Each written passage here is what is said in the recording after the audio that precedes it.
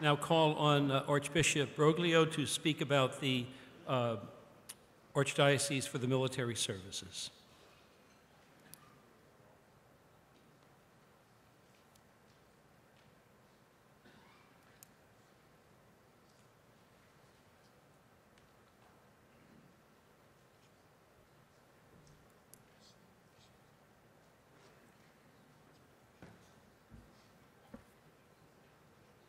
Your Eminences, brother bishops and priests, sisters and brothers in the Lord.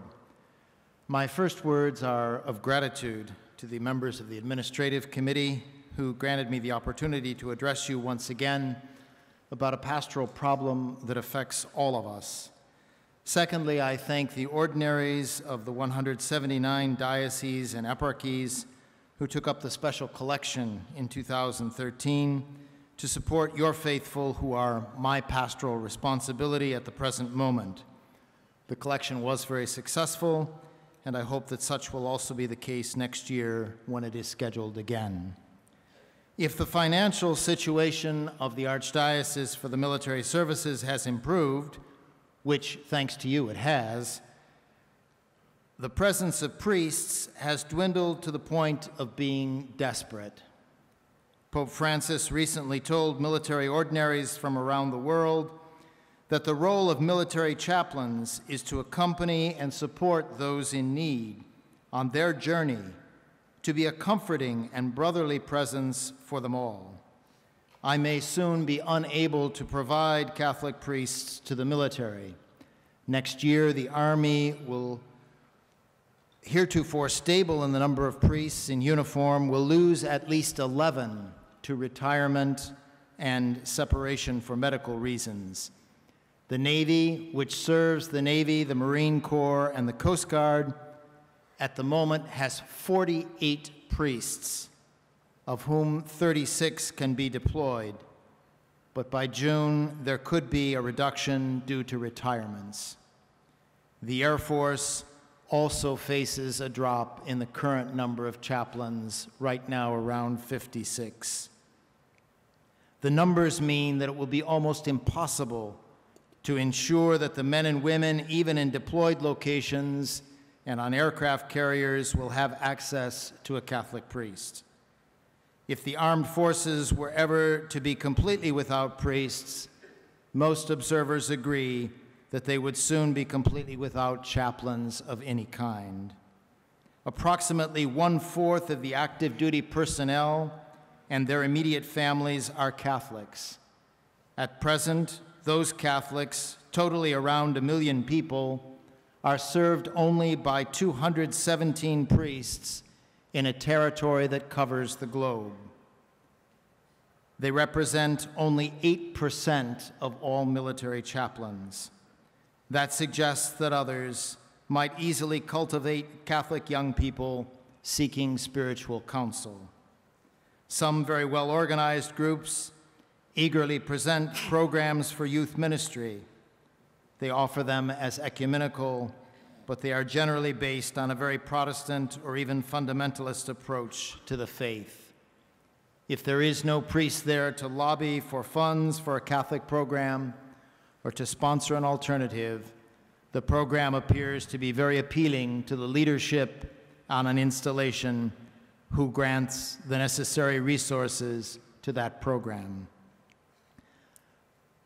I feel a little bit like Mother Cabrini, the first saint with an American passport, who used to borrow or used to take pieces of coal from the poor she served in order to have some to give to people who were even less poor.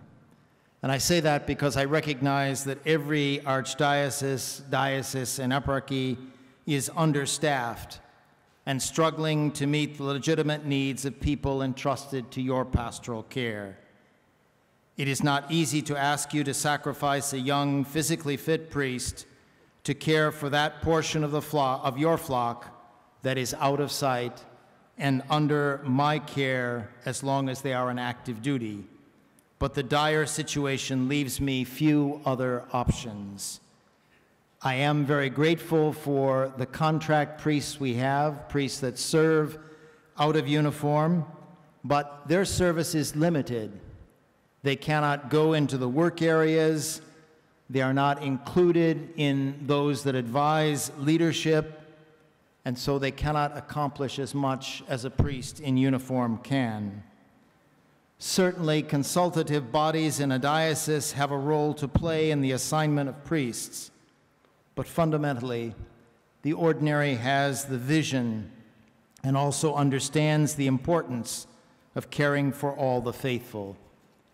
If your diocese does not have a priest serving as an active duty military chaplain, please consider releasing one to serve the Catholics of your diocese who wear a uniform and are far from home. There is also a return. The military is the largest single source of vocations in this country. The CARA study for 2015 has revealed that 6% of the newly ordained priests who responded to the survey are prior service, and 16% came from families where either the mother or the father or both had been or are on active duty. 22% of the newly ordained represents a significant contribution to your diocese, but I am not sure that the Archdiocese for Military Services can sustain those percentages if there are no priests among the military population. As we all know too well, contact, good role models, and familiarity with sacerdotal ministry are essential elements in promoting vocations. While the government is reducing the size of the armed forces, the world situation, as we just witnessed once again dramatically on Friday evening in Paris, continues to make the need for a strong military more evident. Please encourage your priests to consider the possibility of serving in the military. You might want to talk to the recruiters who are in the corridor outside of this room. So often, seminarians and young priests tell recruiters and me that your vocation directors, personnel board members, and vicars general dissuade priests from approaching you about eventual service as a military chaplain. They say, do not bother because the bishop will say no. Perhaps to counter this perception, you could invite a recruiter to address a gathering of priests to illustrate the benefits and the challenges of this ministry. The Archdiocese continues to sponsor discernment retreats and has also embarked on a new initiative called For God and Country to acquaint small groups of priests about the ministry of chaplains and some of the possibilities that are available. The first retreat was very successful and I thank those bishops who released five of the ten participants for ministry in the military. Allow me also to address once again the concern of many bishops regarding the loss of a priest for 20 years or forever. That is not the only option. You can also send a priest for three to five years and then send another. While the Archdiocese for Military Services does want some long term commitments because we need some priests in leadership roles with rank, but we can also use many for shorter commitments. And there is an advantage. They return home with training, perhaps with clinical pastoral education and other skills. They return enriched and better able to serve your people in the diocese. I can also cite the example of many priests who have returned to their dioceses and taken assignments. They brought with them a wealth of experience and a new vision. While the Archdiocese is also charged with the pastoral care of Catholics who are treated or frequent the medical centers of the departments for Veterans Affairs, I have not made an appeal for priests in that sector. While they are always in demand, recruiting is a bit simpler because there are no age or weight restrictions. However, the need of Catholic, Catholic patients are diligently followed by the Archdiocese. The Archdiocese is also care, charged with the pastoral care of your civilian faithful who serve the federal government in non military capacities outside of the borders of the United States.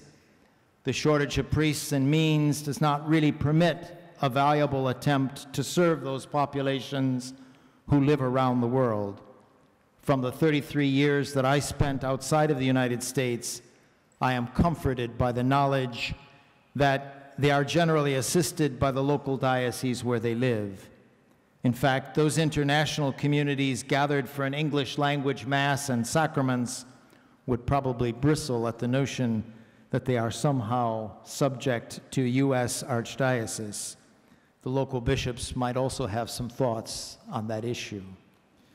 Returning to the need for chaplains, I am again reminded how just a year ago, Pope Francis described this noble vocation, which is, I quote, to dedicate yourself, even at the risk of your own life, to ensuring that the faithful serving to defend your country might not be deprived of the spiritual food they need to survive.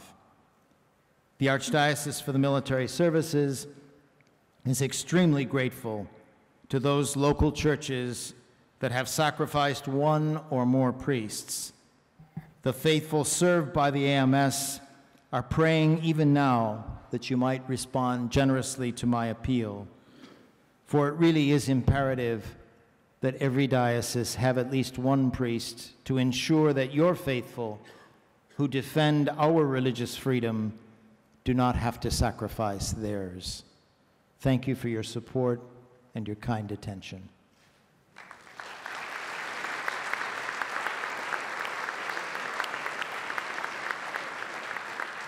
Archbishop Broglio, thank you so very much, and I know you'll be available to answer uh, any individual questions